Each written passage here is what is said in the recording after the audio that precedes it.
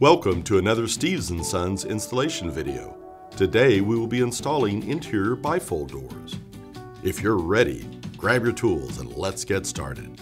Your box should contain one hardware bag, one track, and one bifold door unit. If you are missing any parts, do not return the door to the home center. Please contact Steve's customer service for assistance weekdays 8 a.m. to 5 p.m. Central Standard Time. Before we get started, make sure you have the following tools a drill with bits, a hammer, a pencil, tape measure, screwdriver, and safety glasses. First, you need to measure the height and width of your bifold door to make sure it will fit in the opening. The height of the opening must be one and one half inches taller than the height of the door. The width of the opening must be one half inch larger than the bifold door unit. If the door is larger than the opening, it cannot be installed. Insert the top pivots into the pre-drilled holes in the top of both door panels. Then insert the bottom pivot into the pre-drilled hole at the bottom edge of the pivot door panel on the jamb side of the opening. Now, mark a center line on the head jamb and on the pivot jamb at the bottom where the jamb bracket will be installed.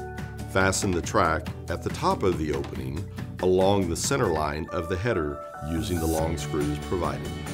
If installing two sets of bifold door units, use the track joiner included in the hardware bag to join both tracks together. Fasten the jamb bracket in line with the track on the pivot jamb side of the opening. Make sure the base of the bracket rests firmly on the floor. If you are using the additional slide guide, snap it into the middle of the track. Now you're ready to install the door panels. Insert the top pivot at the pivoting side of the door into the top track bracket. With the top pivot inserted, lift upward on the panels and position the bottom pivot into the jamb bracket on the floor. Let the bottom pivot sit on the jamb bracket firmly with the knurled teeth engaged. Depress the guide pivot on top of the outer pane. Position it under the track and release so the guide pivot is securely positioned in the track or the optional slide guide. You can adjust the door height by slightly lifting the panels and turning the threaded stem of the bottom pivot. Then, seat the pivot in the jamb bracket at the desired height. If necessary, adjust the rack bracket in the top track by loosening the bracket screw, slide the bracket within the track, make sure to tighten the screw at your desired location. You can adjust the door horizontally by altering the position of the bottom pivot in the jamb bracket. Lift the door slightly and move the bottom pivot in either direction as necessary to bring the door plumb with the opening. Make sure the guide pivot does not disengage when you move the door and the door's edge doesn't rub the jamb. Now, mount the knob at the center of the guide door, about 36 inches from the floor.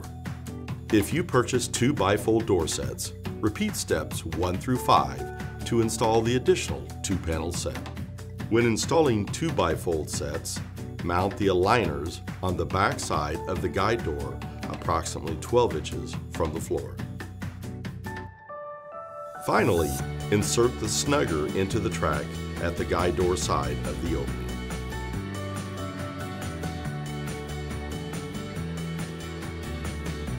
If you have additional questions, please contact our customer service department for assistance. Thank you for choosing your new interior bifold door from Steves & Sons.